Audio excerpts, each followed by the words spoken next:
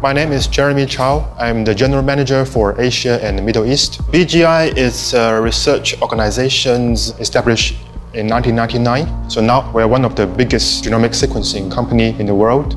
Okay, so why um, BGI invest Thailand? So first of all, Thailand was sitting in the center of ASEAN. Secondly, uh, Thailand has a very good infrastructures and as well as very good uh, transportations that connect all over the world. So most importantly was the Thailand uh, ecosystem that allowed BGI to working with the best healthcare systems as well as the universities and the research institutes.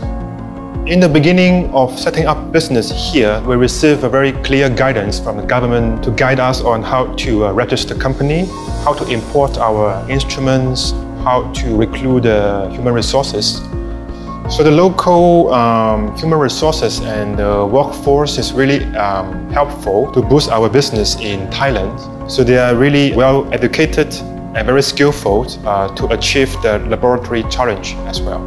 Is it worthwhile to doing business here in Thailand? The answer is definitely yes. We make the right decisions in the right time. We are not only doing business here, so we also integrate into the uh, bio ecosystems here. So I think the future is not only uh, we focus on Thailand, but start from Thailand.